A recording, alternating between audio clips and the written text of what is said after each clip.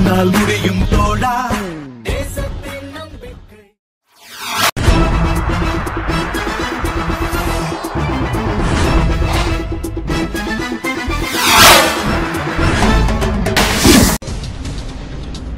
KPR பொறியியல் மற்றும் தொழில்நுட்ப கல்லூரியில் இருபத்தி ஆறாவது தேசிய குழந்தைகள் அறிவியல் மாநாடு மற்றும் இந்த ஆண்டிற்கான டாக்டர் ராதாகிருஷ்ணன் நல்லாசிரியர் விருது பெற்ற பள்ளி ஆசிரியர்களுக்கான பாராட்டு விழா கல்லூரியில் நடைபெற்றது.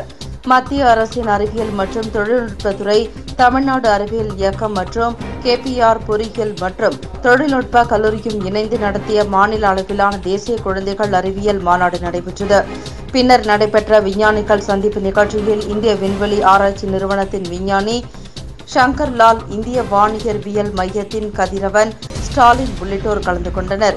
மேலும் இந்த ஆண்டில் சிறந்த ஆசிரியர்களுக்கான விருதான தமிழக அரசின் ராதாகிருஷ்ணன் விருது பெற்ற மற்றும் பல்வேறு விருதுகள் பெற்ற சிறந்த பதினோரு ஆசிரியர்களுக்கான சிறப்பு விருந்தினர் அமைச்சர் எஸ் பி வேலுமணி பரிசுகளை வழங்கி பாராட்டினார். சென்னை அடுத்த ஆவடியில் உள்ள ஆவடி அண்ணா அபே ஆட்டோ ஓட்டுநர்கள் நலசங்கம் சார்பில் ஆயுத பூஜை விழா கொண்டாடப்பட்டது. ஆட்டோக்களுக்கு அலங்காரம் செய்து வழிபட்டனர். அமமுக ஆவடி நகர செயலாளர் எஸ் கே எஸ் மூர்த்தி தலைமையில் நடைபெற்றது. இதில் சிறப்பு விருந்தினராக அமமுகவின் திருவள்ளூர் மத்திய மாவட்ட செயலாளர் சீனிவாசன் கலந்து கொண்டு சிறப்புரையாற்றினார். அதன் பின்னர் ஆட்டோ ஓட்டுநர்கள் நூற்று ஐம்பது பேர் பயன்பெறும் வகையில் சீருடைகள் மற்றும் இனிப்புகள் வழங்கினார். இந்நிகழ்ச்சியில் மாவட்ட துணை செயலாளர் சத்திரம் பாபு நகர துணை செயலாளர் சதீஷ்குமார் நிக்சன் மற்றும் ஆட்டோ சங்க தலைவர் கார்த்திகேயன் செயலாளர் சுகுமார் பொருளாளர் சுரேஷ் என ஏராளமான ஆட்டோ ஓட்டுநர்கள் கலந்து கொண்டனர்.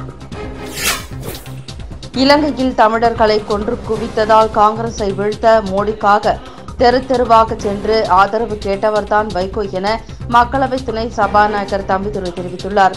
கரூரில் செய்தியாளர்களிடம் பேசிய அவர் மோடி நல்ல நண்பன்தான் எனவும் ரிப்பீட் மோடி நல்ல நண்பர்தான் எனவும். ஆனால் அவர் பிஜேபியை சேர்ந்தவர் நாங்கள் அனைத்திந்திய அண்ணா திராவிட கழகத்தை சேர்ந்தவர்கள் என்றும். அதிமுக கட்சியின் கொள்கைகளோடு ஒத்துப்போக்க உள்ளவர்களிடம் கட்சி மேலிடம் கூட்டணி அமைக்கும் என்றும். மோடியின் பொருளாதார சீர்திருத்த நடவடிக்கை தற்போது வரை கேள்விக்குறித்தான் என தெரிவித்தார். உலக அளவில் இந்தியாவினுடைய மரியாதை உயர்ந்து கொண்டிருக்கிறது யாரும் மறுக்க முடியாது. அவர் செய்த அந்த திட்டங்கள் மூலமாக. பொருளாதாரத்திலும் அவர் சில திட்டங்களை வகுத்து செயல்படுத்தி கொண்டிருக்கிறார். நாம் எதிர்பார்த்த அளவிற்கு இல்லாமல் இருக்கலாம். இருந்தாலும் அவர் முடிந்த அளவிற்கு சில திட்டங்கள் செயல்படுத்தியிருக்கிறது தான் சொல்ல முடியும் என்னை பொறுத்தவரை. பொருளாதார வீழ்ச்சி என்பது ஒரு இந்தியாவை மட்டும் நடைபெறுகிற பொருளாதார நடவடிக்கையை பொறுத்து மட்டுமல்ல. உலக அரங்கில் பொருளாதார நிகழ்வுகள் பிஸ்னஸ் ட்ரேடெல்லாம் இருக்குல்ல அதை பொறுத்தும் நாம் பாதிப்புகள் இருக்கின்றன. மேடவாக்கம் பள்ளிக்கரணை சுற்றியுள்ள வீடுகளில் நகை பணம் திருடிய மர்ம நபரை போலீசார் கைது செய்து சிறையில் அடைத்தனர். போலீசாருக்கு கிடைத்த ரகசிய தகவலின் பேரில் பள்ளிக்கரணை சுற்றுப்பகுதியில் ரோந்து பணியில் ஈடுபட்டிருந்த போது சந்தேகப்படும்படி சுற்றித் திரிந்த நபரை பிடித்து விசாரிக்கும் போது தப்பிக்க முயன்றுள்ளார். அவரை சுற்றி வளைத்து பிடித்த போலீசார் பள்ளிக்கரணை காவல் நிலையத்திற்கு அழைத்து வந்து விசாரணை மேற்கொண்டுள்ளனர். விசாரணையில் அந்த நபரின் பெயர் சிவா என்பதும் ஸ்ரீபெரும்புதூரை சேர்ந்தவர் என்பதும் ஆள் நடமாட்டம் இல்லாத பகுதிகளில் வீடு புகுந்து திருடி வந்துள்ளதும் தெரியவந்தது.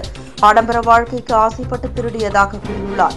இதையடுத்து சிவாவின் மீது வழக்கு பதிவு செய்த பள்ளிக்கரணை போலீசார் குற்றவாளியை ஆலந்தூர் நீதிமன்றத்தில் ஆஜர்படுத்தி புழல் சிறையில் அடைத்தனர். திருவாரூர் புதிய ரயில் நிலையம் முன்பு அனைத்து ஐயப்ப பக்தர்கள் சபரிமலைக்கு பெண்கள் வரக்கூடாது என வலியுறுத்தி ஆர்ப்பாட்டம் நடத்தினர். திருவாரூரில் உள்ள அனைத்து ஐயப்ப பக்தர்களும் சபரிமலை புனிதம் காக்கவும் பெண்கள் பத்து வயது முதல் ஐம்பது வயது வரை உள்ளவர்கள் சபரிமலைக்கு செல்லும் எண்ணத்தை மாற்றி பாரம்பரியத்தை காக்கவும் பேரணி நடத்த முற்பட்ட போது காவல்துறை அனுமதி அளிக்காததால் ஆர்ப்பாட்டமாக நடத்தினர். இதில் ஏராளமான பெண்களும் கலந்து கொண்டு கோஷமிட்டனர்.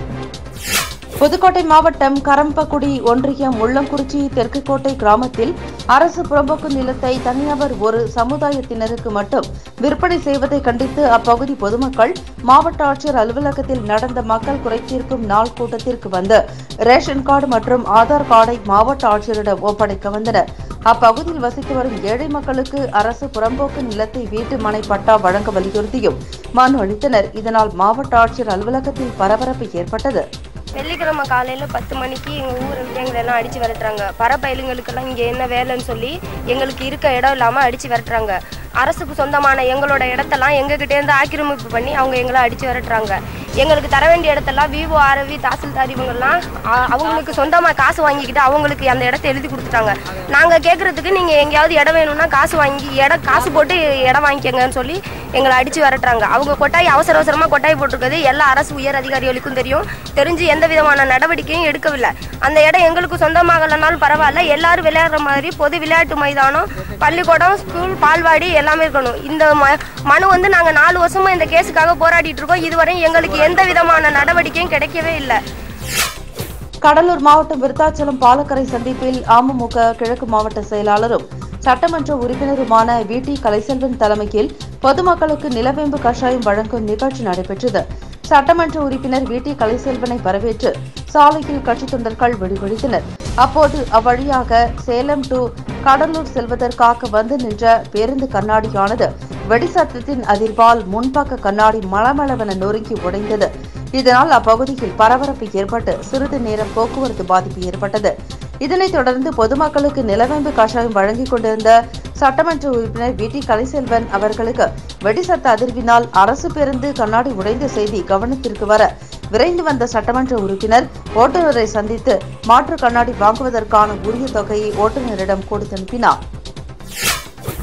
கடலூர் மாவட்டம் திட்டக்குடி அடுத்த டி. ஏந்தல் கிராமத்தை சேர்ந்தவர் கந்தசாமி இவருக்கு மூன்று மகன்கள் மூவரும் வெளிநாட்டில் வேலை செய்து வருகின்றனர். இதனால் அவர்களுடைய மனைவிகள் அவரவர்கள் பெற்றோர்களின் ஊரில் வசித்து வருகின்றனர். கந்தசாமியும் தன்னுடைய மகன்களின் வீட்டில் வசிக்காமல் அப்பகுதியிலேயே தனியாக வீடு கட்டி மனைவியுடன் வசித்து வருகின்றார். வீட்டில் யாரும் தங்காததை அறிந்த மர்மரவர்கள் நேற்று இரவு வீட்டின் பூட்டை உடைத்து உள்ளே நுழைந்து வீட்டிலிருந்த நான்கு பீரோவையும் உடைத்து அதிலிருந்த பத்து சவரன் தங்க நகைகள் வெளிப்பொருட்கள் மற்றும் நாற்பத்தைந்தாயிரம் ரொக்க பணமும் கொள்ளையடித்துச் சென்றுள்ளனர். இன்று காலை தனது மகன்களின் வீட்டிற்கு வந்த கந்தசாமி வீட்டில் திருடு போய் இருப்பதை அறிந்து அதிர்ச்சியடைந்து அவர் உடனடியாக ராமநத்தம் போலீசாருக்கு தகவல் அளித்தார். இதனை அடுத்து சம்பவ இடத்திற்கு வந்த ராமநத்தம் போலீசார் விசாரணை செய்து வருகின்றனர். தஞ்சாவூர் இடைத்தேர்தல் குறித்த ஆலோசனைக் கூட்டம் மாரியம்மன் கோவிலில் ஒன்றிய செயலாளர் வீரன் தலைமையில் நடைபெற்றது. கூட்டத்தில் பங்கேற்ற வேளாண் துறை அமைச்சர் துரைக்கண்ணு பேசுகையில் அம்மாவால் ஜெயித்தவர்கள் விசுவாசம் இன்றி ஆட்சியையும் கட்சியையும் அழிக்க முயற்சிக்கிறார்கள்.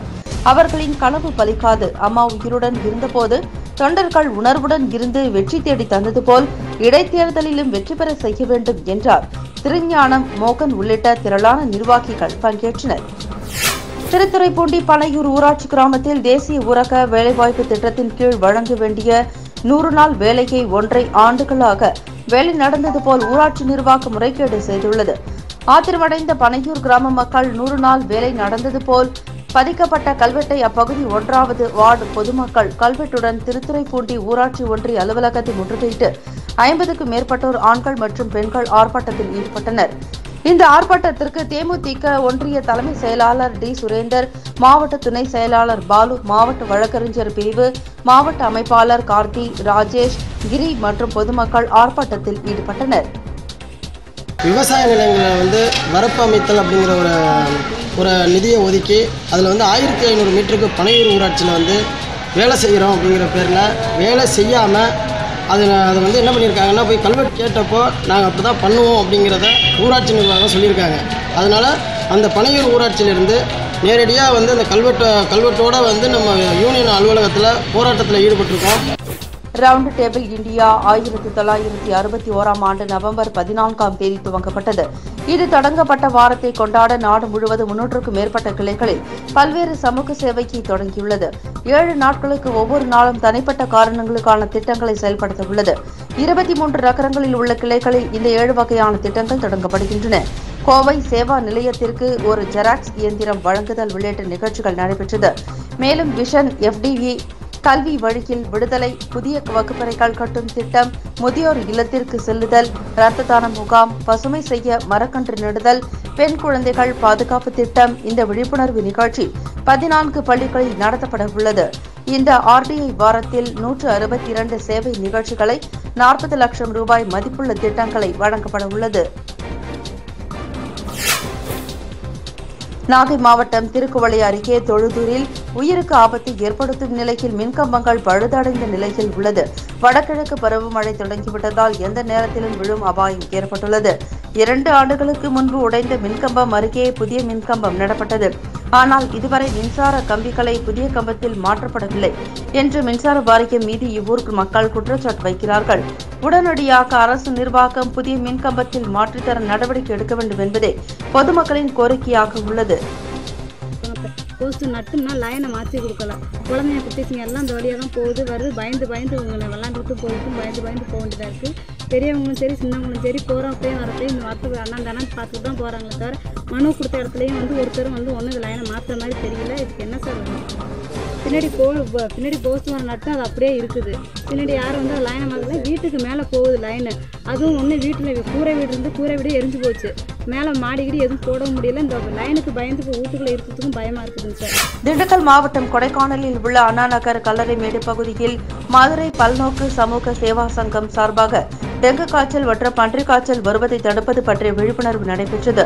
இந்நிகழ்ச்சியில் பொதுமக்களுக்கு டெங்கு விழிப்புணர்வு பற்றியும் கொசு வராமல் தடுக்க என்ன செய்ய வேண்டும்? காய்ச்சிய குடிநீரை பருக வேண்டும். உணவு அருந்தும் முன் கைகளை சுத்தமாக கழுவ வேண்டும். வீட்டின் சுற்றுப்புறங்களில் கழிவுநீர் தேங்கிவிடாமல் பாதுகாப்பாக வைக்க வேண்டும் போன்ற பல்வேறு அறிவுரைகள் பொதுமக்களுக்கு வழங்கப்பட்டது. மேலும் டெங்கு மற்றும் பன்றிக் காய்ச்சல் விழிப்புணர்வு பற்றிய பதாகைகளை பெண்கள் கையில் ஏந்தியவாறு ஒழிப்போம் ஒழிப்போம் கொசுவை ஒழிப்போம் என கோஷமிட்டனர். நிகழ்ச்சியின் இறுதியில் பொதுமக்கள் அனைவருக்கும் நிலவேம்பு கஷாயம் வழங்கப்பட்டது.